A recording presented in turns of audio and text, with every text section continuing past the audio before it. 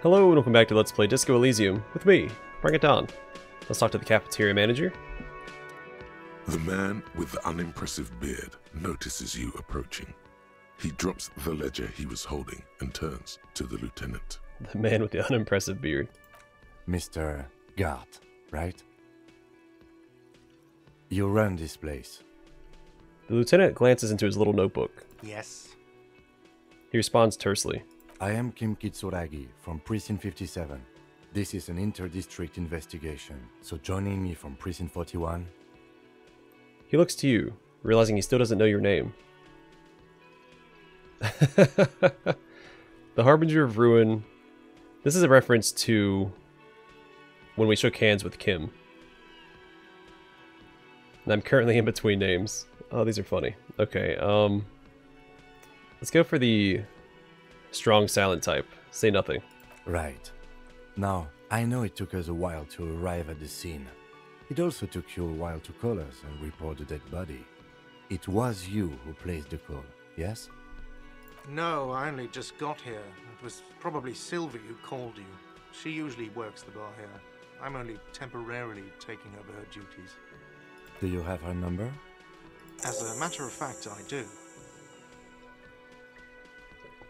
He looks behind a pile of coasters, finds a slip of paper, and hands it to the lieutenant. You said you just got here. From where? Are you a local? What, of Martinez? No, I live in Jamrock. I only sometimes come here to keep an eye on the place. This is just one of the many, many cafeterias I manage. yeah, three. But you still know your way around, yes? In case we need directions.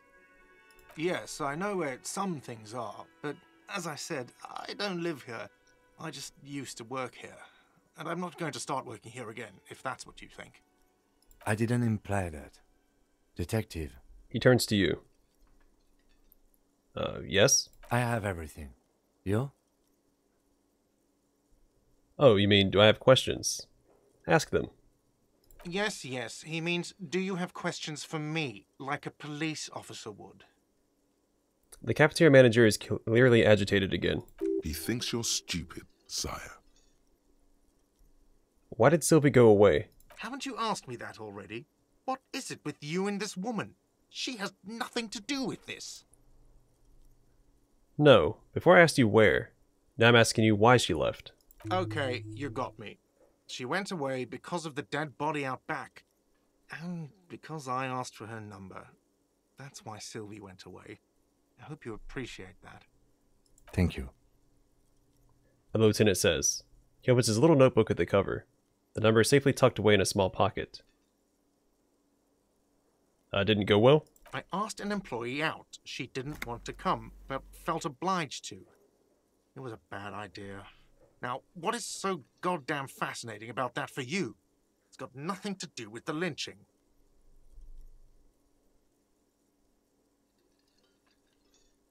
I guess I like to be thorough. Good for you. Uh, was there something else? I'd like to get back to what I was doing. Where exactly is the body? Behind this building, there's a courtyard. They hoisted him up on a tree there. He points to the kitchen behind him. And how do we get there then? That's easy. See that door there? First you exit through that. Then to your right, you should see a big hole in the fence. A really big one. You can get to the courtyard through there. No need for the keys. The hole is big enough for the Franco-Nigerian cavalry to fit through.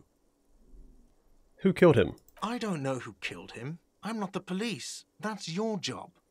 Did you kill him? What are you, crazy? Of course I didn't kill him. I guess that's all. Let's go. Not so fast. You owe me 130 real. Uh, he points to you. Uh, what's real? Oh, excuse me. You owe me 130 real. He pronounces the R with a mock arist aristocratic accent. The IIR, or Inter-Isolary Real, is the global reserve currency. Whatever part of the world you're in right now, it's safe to assume he means you owe him some money. Oh, I understand. You mean I owe you money? Wow, you're a genius. Yes, that's right, money. You owe this establishment 130 real. He points to the red ledger on the counter. You're under arrest. uh, what do I owe this place for? Let's see. Three nights at a tariff of 20 real comes to 60 real. Then there's the window you annihilated. The hole in the window was the first thing I saw when I came to work. So don't try to tell me you didn't. That will be 40 real in damages. Another thing you've annihilated is half the bar. You've run a tab of 30 real. Actually, more, but we'll round it down to 30 for your hard work maintaining the stability and order of Revachol. That's 60 plus 40 plus 30 equals 130 real. And yes, real is still money. But what exactly is money? What are you, a philosopher? Actually, I might be. Money is what grown up people use to pay for things. Things like this hostel room or or eight bottles of potent blend and nine packs of Royal Extra. We use it for everything, really. Proceed and show him the coins you found. Is this money? Yes, it is. I count them and give them to him. That's 10 plus 10 plus 20 equals 40. I'm now down to 90, right? No, you see, that's 40 cents. Cents are a form of currency 100 times smaller than the real. I'm not even going to take this. Come back when you have 130 real. There's a tinge of sadness in his voice. 100 times smaller. Yes, But that's horrible. it is. He stands silently looking at the coppers on the counter. Isn't it evil? The order of magnitude between what is asked of a person and what they have. Darkness rides. Pick up the coins. It does, doesn't it? There's a shuffle of nylon as Lieutenant Kitsuragi looks for something in the pockets of his orange bomber. That's cop four. I haven't offered to pay because I don't have any money either.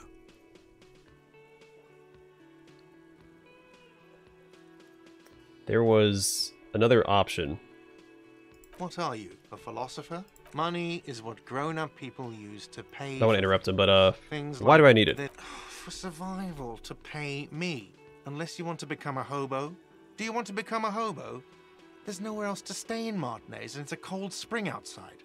Money doesn't make you happy, but it lets you be unhappy for a while longer. If you run out of money, you die. It's like that for all of us. Me too. That's why I need you to pay me. I'm not an asshole. He stops and says, mostly to himself, I wonder if that's has something to do with Sylvie. That uh last comment. Uh, interesting. Where do I get it from? Are you serious? From your work? I don't know. You can take bribes, I guess. I'm sorry. I don't think cops can take bribes. He looks at the lieutenant. Some do take recompense, but only to survive. Yes, it is. No, you see, that's 40. It is. Isn't it? There's a shuffle of nylon as Lieutenant Kitsuragi looks for something in the pockets of his orange bomber. Alright, uh, what happens now? I'm sorry, but he has to pay. I can't let him stay here any longer if he doesn't. If he doesn't have the money by tonight, then He shrugs. Uh, sorry, he also he turns to the lieutenant. Officer, maybe you are better off working this from home for now. You live in Jamrock, right? It's not that far away. Isn't there somewhere else I can stay around here? You mean somewhere else to run up a huge debt? I don't think so. The union squeezed most places out of business to fund the strike. You're better off home. I don't remember where my home is. Officer, you really need to take this up with your station. I have a shortwave radio in my car. Call them, ask for assistance. We have to get this investigation started now. A pattern of creases appears on his forehead. Good luck. The man wants to say something, and thinks better of it. By the way, where is home? The address is coming up blank, and this place sure isn't it. I really don't remember. But you've been at this hostel cafeteria for only three nights. Where were you before? You had to be somewhere. I don't know. Near? South, maybe. You don't really know, do you? I don't. Does this mean I'm homeless? South, maybe. Doesn't sound like somewhere you can stay if you run out of money. Could I trace the way back somehow to the exact street, the exact number on a building? You can try. Run some addresses in your head when you get the time. Maybe a street or an apartment will appear. Lonesome long way home. So plus one encyclopedia when I have this equipped. Alright, let's rewind. Let's trace your drunken steps back home. Jump across the raised channel bridge southwest of here. Fall over. Get up. Get off the asphalt in 20 minutes. Shuffle your feet through courtyards, scaring little children. Go into the Great Raised Motor Tract, the 881, until you reach Le Domaine Eminent in North Jamrock. Streets are frozen this time of year, caked with ice. Walk down Main to Perdition. There's a side alley there, your footprints in the mud. Alright, we'll let that stew for a bit. And then we have two new tasks, pay for damages. You need to pay for the damages you caused in the whirling in rags, or you won't have a place to stay tonight. Ask around for money, and be careful with your spending. If you're unsure how much you owe, ask Art. Who made the call reporting the crime? Someone reported the hanging to the RCM. If you find out who it was, it may shed new light on the events. You have an idea where to start. The caller could have been anyone. Main call Sylvie using Kim's shortwave. Which we also need to use to...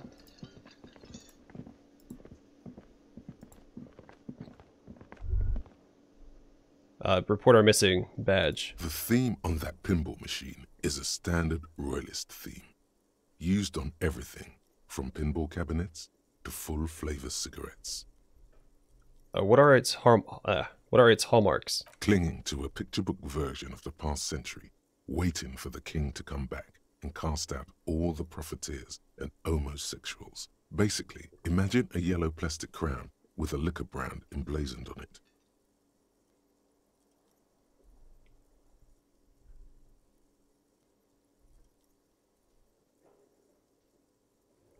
The idea of a king in a century gone is pretty fascinating. The sentiment is called anti-centennial nostalgia, pining for a time before the turn of the century. It's common even now, after 50 years.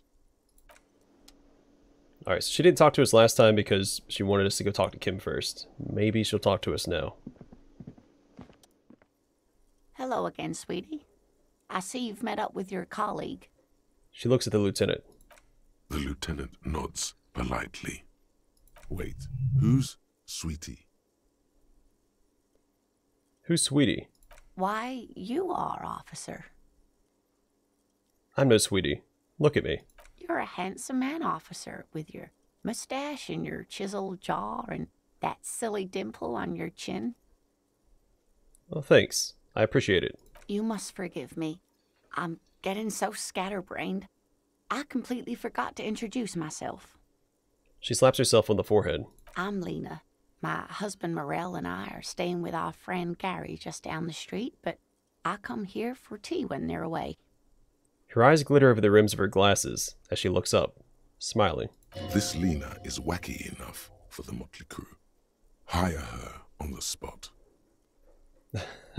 okay.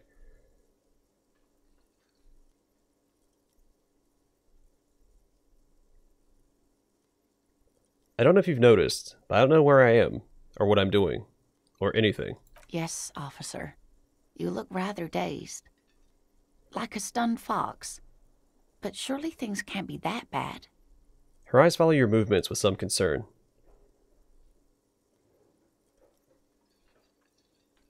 Well, I drank so hard I forgot literally everything. Oh my. You know where we are, right? It takes a moment to process. Uh, the Whirling in Rags cafeteria. It was on my keys. That's right. And where is the Whirling in Rags cafeteria itself located? In Revachol. Yes, indeed. We are in the fine city of Revachol. Honestly, I don't know diddly squat about Revachol. What kind of place is this? How would I even begin to tell you? Revachol is the most beautiful city in the world. We're fortunate to be here, you and I. Uh, her gray eyes widen. I haven't seen very many other cities personally, but everyone says so. Revachol is a rare jewel. This city used to rule the world, though it has seen better days. There's a pause as she studies your expression. You must look quite lost. Speaking of history, you know what year it is, yes? It's the spring of 51. That's right, dear. How splendid. Here, take this pen. Knowledge should always be rewarded. Her relief is palpable. She was getting pretty worried about you there, but now she relaxes her shoulders. I can tell that this is taxing for you, so I'll just ask one more question. What regime are we living under? What mode of government? Um, some kind of democracy, maybe? Nope. Sadly not. Revachol is what's called a zone of control, under an alliance of foreign powers called the Coalition. We have no government of our own, and what democracy we have is market driven. She thinks. So I do like how they give the cop amnesia, so that the player has a reason to ask all these questions and understand. So I shouldn't feel as hesitant, because the first couple of episodes I was hesitant to ask a lot of these questions, because it makes my character look incompetent. But I think this is all just part of the mechanic, so the player can get a an idea of what the city, you know, what's going on here. Uh, you know, exposition.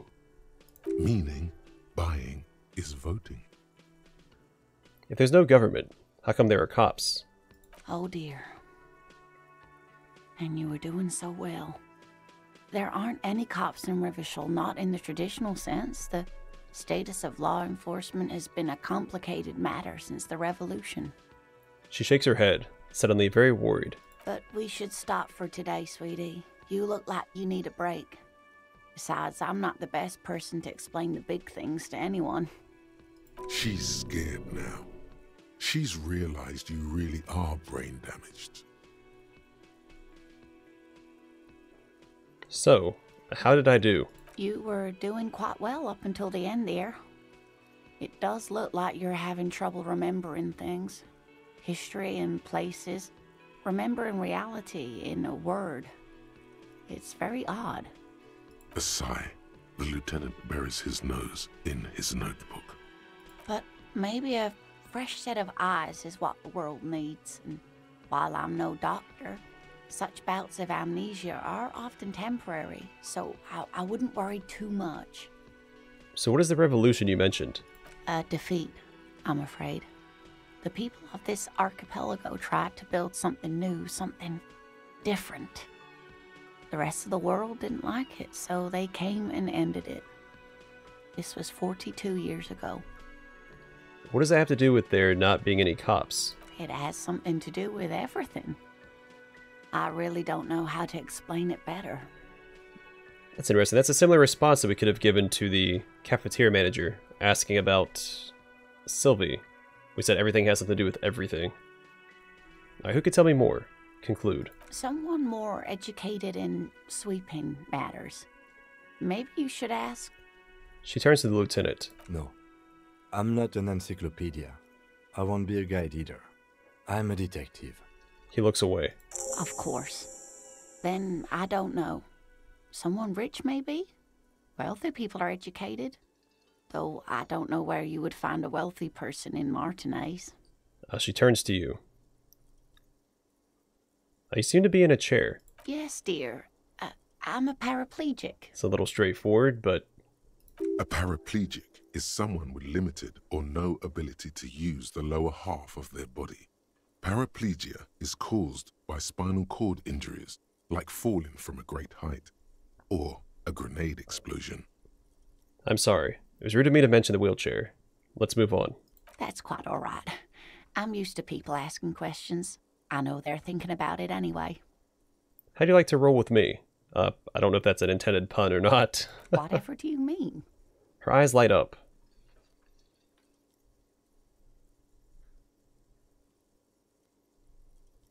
I want to be my wheelchaired partner in fighting crime. Uh, ridding backyards of corpses, catching sequence killers. Sequence killers? Oh my. But I think you already have a partner, sweetie. She sounds impressed. A partner who needs you to help him get a corpse down from a tree. You're probably right, Kim. It seems to me that you lucked out with your partner. He has the look of an upstanding officer of the law. Someone you can lean on, and sweetie, you are looking unsteady. Alright, I've got to get going now. I'm not going to ask her for money. Of course, dear. Good luck with your case. She gives you a small wave. Alright, so she gave us a pen.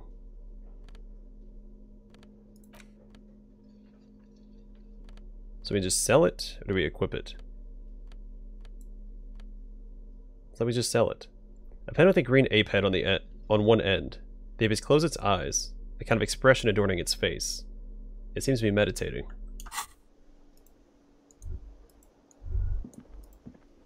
Alright, uh, let's go upstairs. I want to see if Kim has any reactions to upstairs real fast. Plus, it's been, what, an hour and a half? Maybe uh, What's-Her-Face is out of the shower. We should probably try and get that body out of the tree first. That should probably be our, our priority right now. The door is closed. Uh, knock again. Still no answer. Uh, yeah, let's ask her some questions. A knock again, much harder. Still nothing. The lieutenant gives you a quick glance. Alright, let's just leave. Nothing good's gonna come of that. Let's see if he can say anything, or has anything to say inside of our apartment. Can not to look at your broken down bathroom door. Kim also tries not to look at the pile of taped viscera on the carpet, or the weird suitcase on the hat rack, or the potted plant dying in the corner. But it's all just too morbid to ignore. I'm sorry for this. No problem, officer. Takes a step toward the door, like he'd like to leave.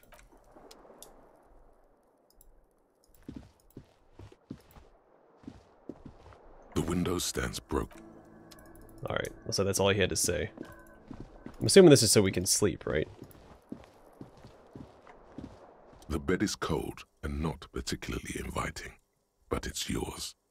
The sheets look awful. Alright, no time to rest yet. Alright, let's see if there's anything new to say outside with Kim and our party, and then we'll head back down and exit, see if we can take that body out of the tree. Actually, start our investigation. I keep keep procrastinating.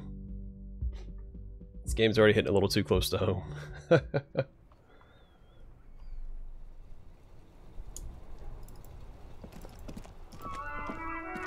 Alright.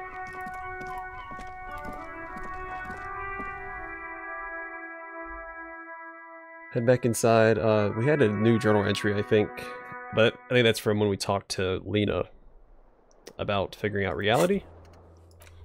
You get a reality lowdown. You have no idea where you are. Then encourage you to ask others to explain the world to you in greater detail. Perhaps try a rich person. Rich people are educated.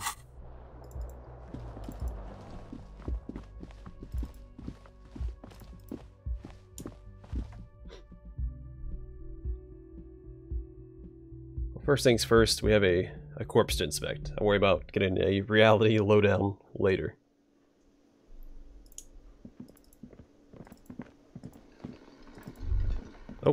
That sugary black rum stain on the counter makes you teary-eyed with joy. It's almost touching how syrupy and sticky it is.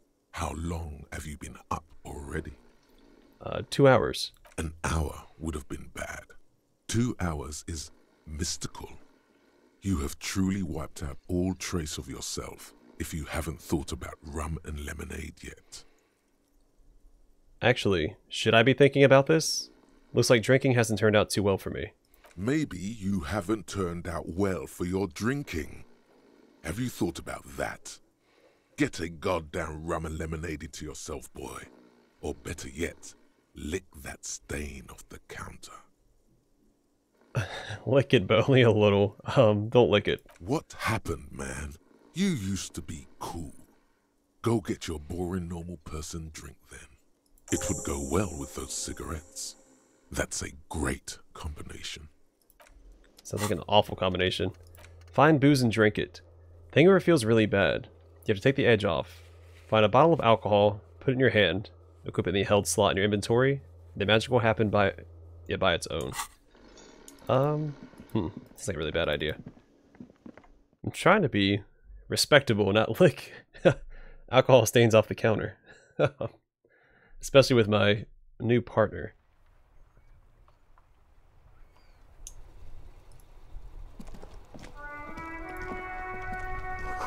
Heap of snow melts into this wheelbarrow. The street sign reads, Screw the police. Pigs go home. The street name is illegible.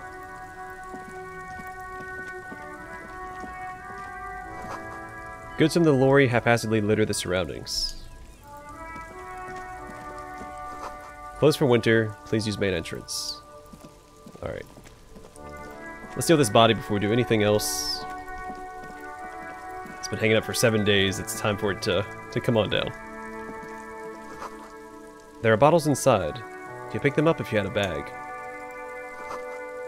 Rue de Saint Ghislaine 8B. An old call box with a matrix of push buttons lists all the companies in the East Delta Commerce Center. Uh, main hall, building A. An off-key melody starts playing after you ring the doorbell. Then a woman picks up the Oh. receiver. I didn't mean to call anybody. Cuno, please stop calling here. Grown-ups don't have time for your stupid games. Uh, who's Cuno? This is the police. Please open the door. Oh, I'm sorry, officer. I thought you were... There's a spot of static that overrides her words. But the doorbell is broken, and the bookstore shouldn't even be on the list anymore. So I can't help you. Please don't call here again. Thanks. A single beep indicates that the line has gone dead. Let's leave that for now. I feel I should prioritize what's going on back here. The letter R wears a crown. On the ribbon below, a light above descending. It's the logo of the municipality of Revachol. This trash container is locked. The sliding lid has a padlock that says, whirling in rags. There's something in there, not necessarily connected to the case, but still. Why am I looking at you, trash container? You're just a trash container. Maybe you're prioritizing it. Well, it is a container. A lieutenant, what do you think could be in there? Trash? Trash, Oh, he's food talking. waste from the cafeteria. They lock these containers to keep the derelicts from flocking in. Could be evidence too. Seems like a reasonable assumption. Mm-hmm. He leans in to inspect the lock. How do we get the lock open? We could try using a pry bar. There's one in my motor carriage, or Or, Lieutenant? or we could ask for a key from the manager of the Whirling in Rags. He probably has one. There's a locked trash container behind the whirling in rags. The manager Garte should have a key. Alternatively, you could use brute force to pry the lid open. You just need a pry bar.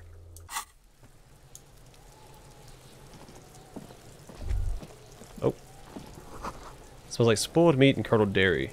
A human being dec- decomposes. Oh yeah, Napa Kimpi Cuno. This kid's ladder is rickety, very climbable. Someone is trying to grow herbs in this greenhouse. Some money and magnesium for plus one morale.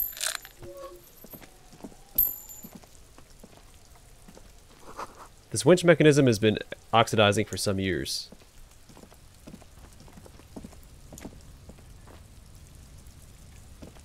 That's around the other side. An inconspicuous pile of the roofing material, Eternite. Uh, what is this? It's nothing. Someone just left some roofing material slanted against an old shack. Glad you asked. When junior researcher Olari Tal invented Eternite in the Vartna Polytechnic Institute some 30 odd years ago, he thought it would last forever. Hence the name, Eternite. Sadly, the only lasting thing turned out to be the material's highly carcinogenic effect. Alright, perception check. Why am I looking at this pile of the roofing material? Because there's a secret door hidden behind the panels of Eternite. That's why they're too orderly. Pull the panels aside. There it is. You see a shabby little door.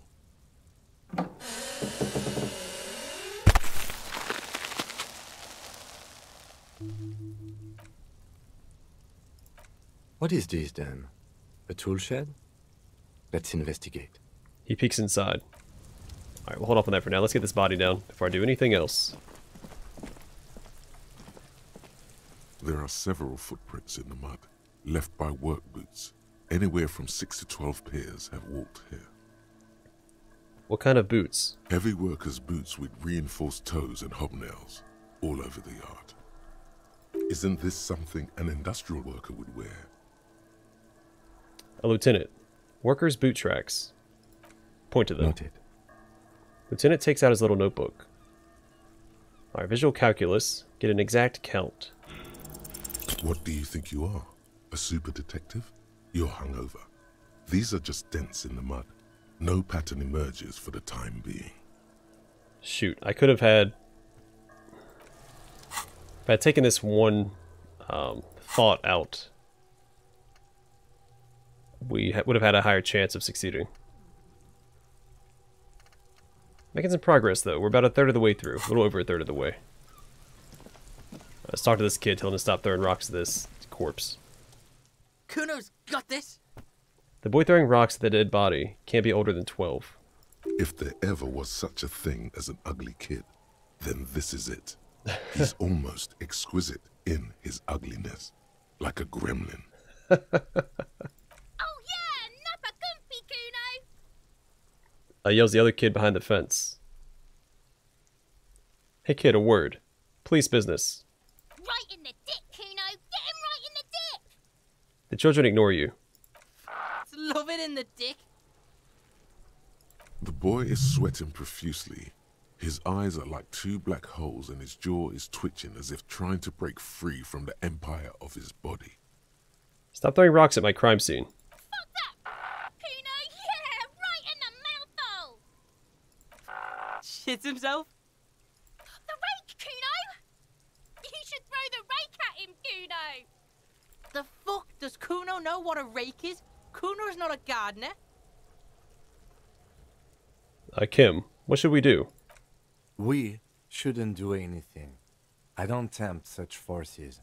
What forces? You will see. The language these kids are using, pure unfettered id. There will be no reasoning with those creatures. Are you kids siblings? The fuck are you talking about? He throws another rock. He's calling us Cuno! He says we're fucking each other! Look, I have questions for you. Alright, entertain the Cuno. Show me what you got. What you got there? What you got, huh? Show me what you got. He juts his chin out. I really, these kids are already annoying me. Uh, the body. What do you know about it? Shitload pig. What's your question? Don't tell the pig shit, Cuno! Uh, Whisper. Kim, help me out here. Uh, what do we want to know? If I were to want to waste my time, which I do not, I would ask them who he is, how he got there, and the usual. The usual being, have you seen anything out of the ordinary? Or have you seen anything suspicious? Do you know who he was? Cuno's fuck imp. Cuno uses the fuck imp for target practice. He picks up a rock. He's trying to hide the fact that he doesn't know. So you don't know anything. I meant who he was before he died. Cuno knows what you meant. Cuno's not a snitch. That's all. Trying to make Cuno sing into the popo phone. He shakes his head, clearly offended. Do you know how it got up there? Probably climbed. Cuno was busy down the road when that shit went down. So you didn't see it happening. You heard Cuno. Cuno wasn't even in Martinez. Cuno wasn't in Revachol. Cuno wasn't regional. He puffs himself up. Oh, okay. Oh, where did you go then? I don't know. Some fucking He looks around, trying to come up with something. Mesque or, or I don't know, some other place. Night City. Cuno was in fucking Night City. There is no Night City anywhere. That sounds like the name of a city in some pulp science fiction novel. And where is Night City? Cuno gives this info out on a need to know basis, and you don't need to know. Cuno didn't smoke the gimp, if that's what you meant. Probably Clan. You heard Cuno. I don't know. Mesco. There is no Night City anywhere. That sounds like the name of a city in some pulp science fiction novel. That's a fictional city name. Night City doesn't exist. Why you gotta be riding Cuno's ass? You haven't been where Cuno's been. You haven't been in Cuno's head. You wanna know where Cuno was?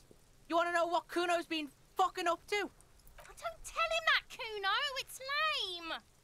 It's not fucking lame. Cuno's building Cuno's City. Night City. Rage City. The City of Rage. That's it. And it's not lame. Lame.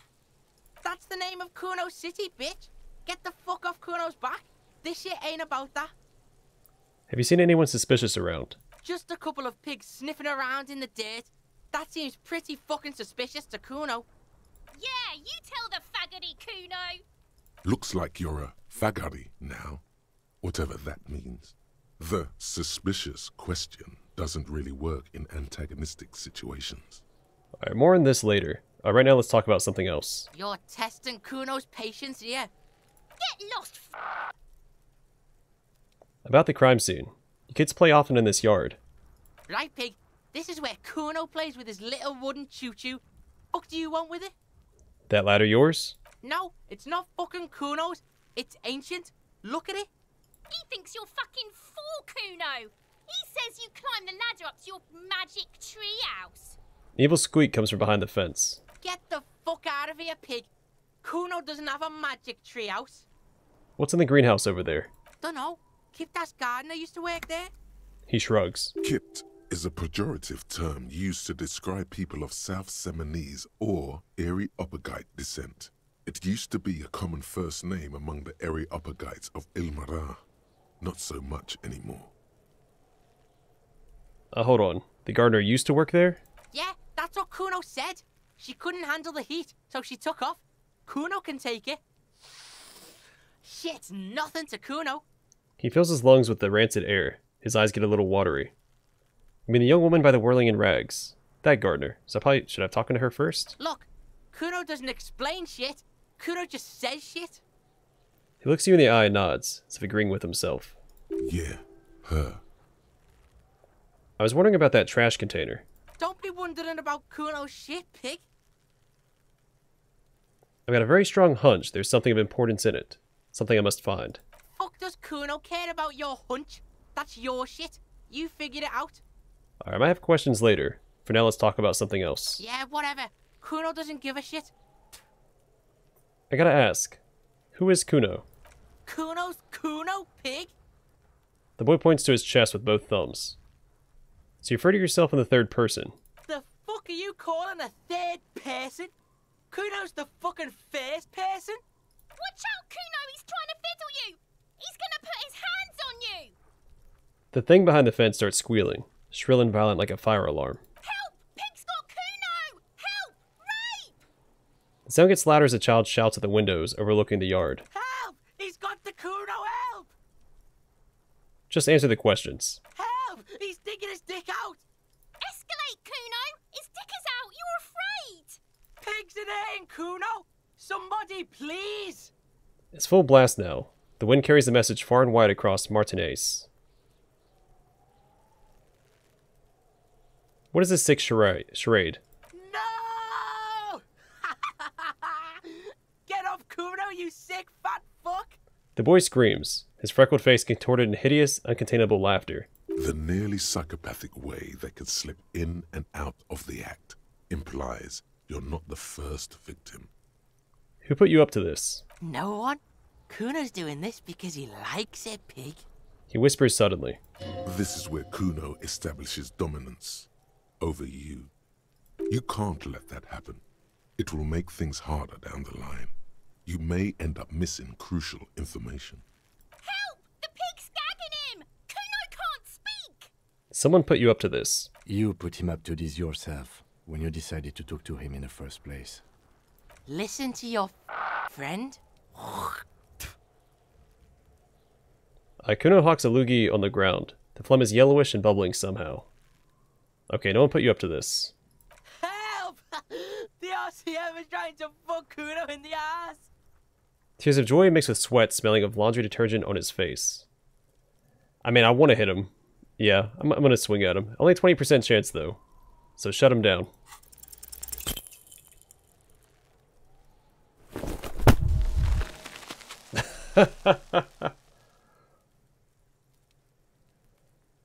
You didn't shut him down.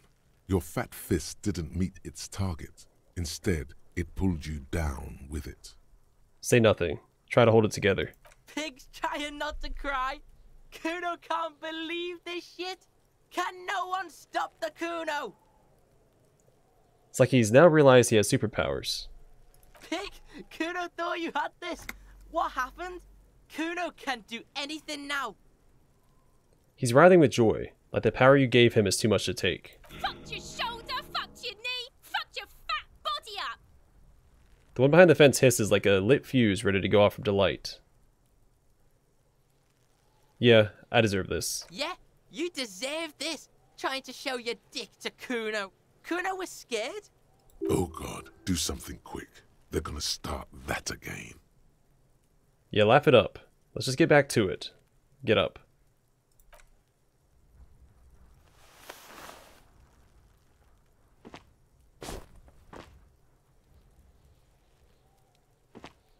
Cuno beat the shit out of the popo. beat your fucking knee off. The kid is laughing so hard, tears are running down his freckled cheeks. I told you not to tempt such forces. The annoyance in his voice is directed at you, not the gremlins. Now, how about we go and do something worth the public's time? Alright, I should probably heal up my morale a little bit. And then I'm gonna end the episode here. We'll take down the body in the next one. Oh. Ladders for kids. Would hold the weight of a grown man. We'll take down the corpse in the next one, and I guess explore Cuno's shack. Somehow I knew that was his shack without going inside of it. Not sure how uh, how I knew that. Either way, we'll do it that next time. Thanks for watching. I'll see you guys in the next one.